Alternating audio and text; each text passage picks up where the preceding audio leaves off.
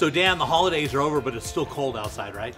Very, very cold, and it's going to be like that for a few more months. Yeah, one of the problems we're having when it's cold outside and with COVID, we're having a, a lot of problems getting parts for furnaces. Yes, that's the same problems that a lot of people saw over the holidays. Uh, uh, manufacturers aren't putting the parts out fast enough, and so with your heater, uh, your furnace, it has a lot of different components, and if something goes wrong, that part may not be available for you. Yeah, and there's nothing worse than if your house goes without heat. It's one of those things that literally makes it so you can't stay inside your home.